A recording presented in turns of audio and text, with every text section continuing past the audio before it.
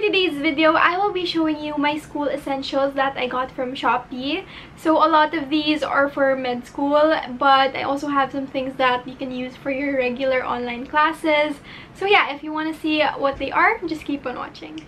I'm gonna start off with the things I use for my online classes. So this one I've showed you a million times already, but it is my um, portable table. So I use this when I'm feeling lazy, when I want to stay in bed. Honestly, I don't use this as much anymore because I just um, study on my regular desk.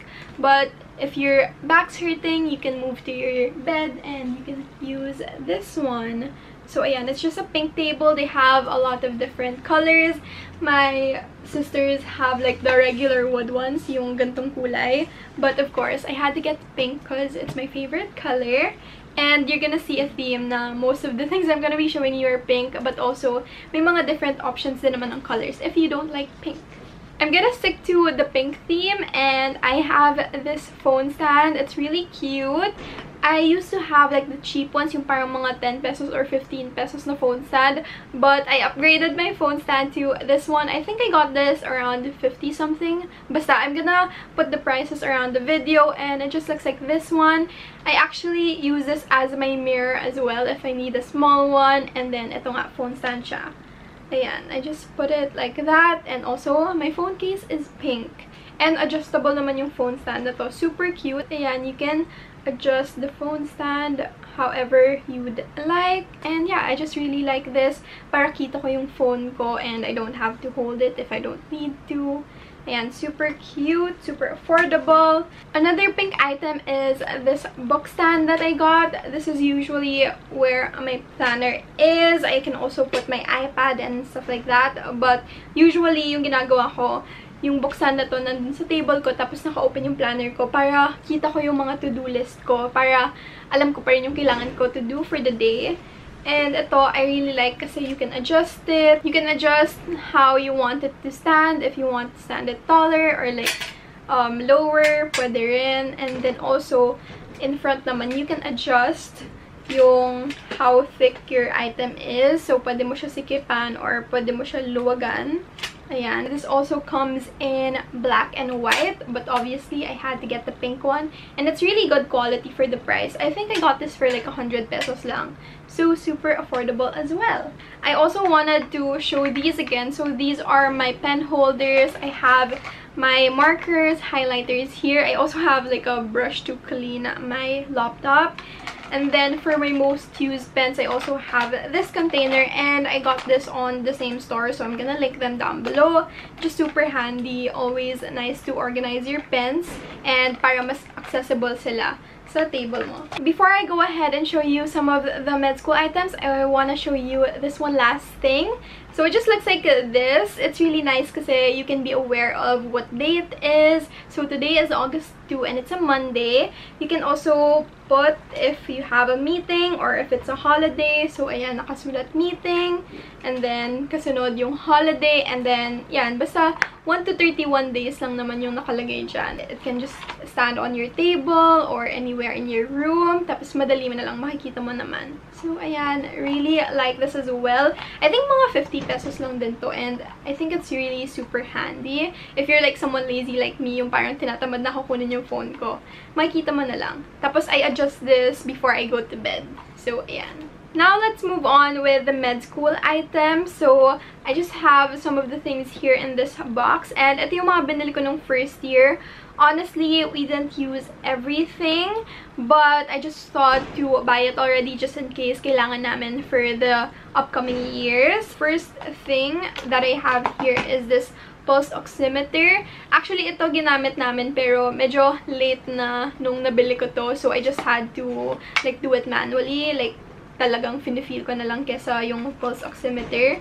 But this one just looks like this. I actually did like a mini haul of this before when I got it. You just have to put the battery in it. And yeah, just looks like this one. Um, may battery pa ba to? Ayan. You just put your finger like that and then it's gonna measure your pulse. And then meron din siyang parang strap. I think we use this for EPI and I think for biochem, but it's not really required. Parang I think any of the group mates could have this na lang. Hindi naman kailangan lahat. Next item is also something we used for our physiology class naman and it's this neurologic hammer. I really like this kasi you get to choose from a lot of different colors. Obviously, I had to get the pink one. And this one, actually, medyo late ko na nabili for that experiment. So, I had to improvise. And I used the bottle ata. And then, when this came in, I just recreated the experiment. So, to be honest, hindi naman ito required, pero I think for the upcoming years, you're gonna need this. I just really feel like it's handy to have this one kasi there's like a lot of experiments where you have to use this. And also, it's really easy to find in Shopee naman tapos affordable din. I also got this tuning fork and honestly, we didn't even use this and I got the 256 hertz one and for second year, kailangan pala namin 512 so I need to buy another one. But, ayan, I think if you're gonna buy a tuning fork, um, buy the 512 Hz one. Hindi ko kasi alam kung ano yung kailangan na frequency before. So, I just got like the middle one. And, yun, mali pala pero feeling ko magagamit ko naman in the future. I don't know. But again, from Shopee lang din and very affordable. And I also got the pen light kasi there's also some physiology experiments where you need a pen light.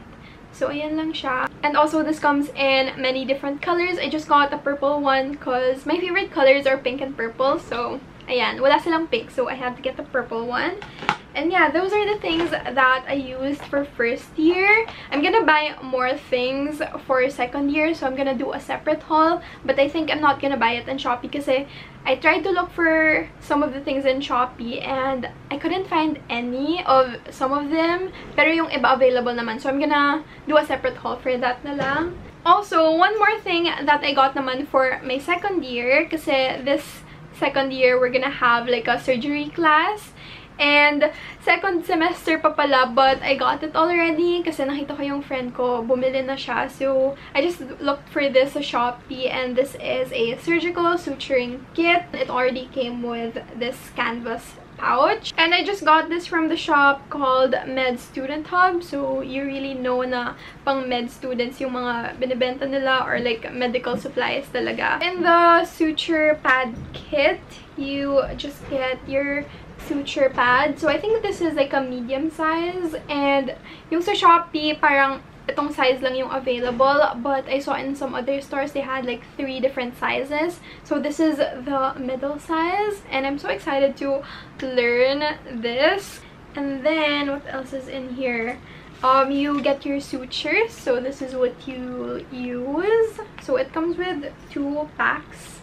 And you can repurchase this separately naman. You also get your needle holder, your iris scissors, and two tissue forceps. So, yung isa tooth, yung isa hindi tooth. So, ayan. Those are the things you get in your suturing kit. And actually, I think I got this for like 945. So, sometimes may sale sila, but yung regular price is like 1,050 if I remember correctly. Tapos free shipping pa. And before I end this video, I also want to show you some of my favorite Shopee purchases that I need for school.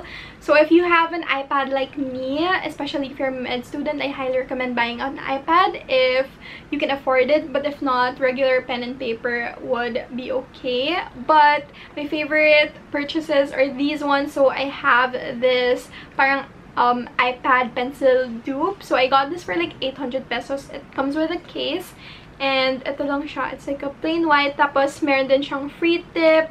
And then, you can just press it. And then, it's on and off. so, ayan. Nagmamadali ako kasi maubos na yung battery ng camera ko. But I also have this iPad case. Super cute design. Super simple. Tapos clear siya at the back. You can see my engraved name here. And also, yung screen protector ko is paper-like. I'm gonna link everything down below. I always link my iPad accessories in the description box because I always use my iPad in my videos. So yeah, I highly recommend these accessories if you have an iPad. And that is it for this video. Super sorry, nagmamadali ako kasi maubos na talaga yung camera battery ko. But thank you so much for watching. Give this video a thumbs up if you like it. Comment below any other video suggestions. And I will see you on my next video. Don't forget to subscribe. Bye!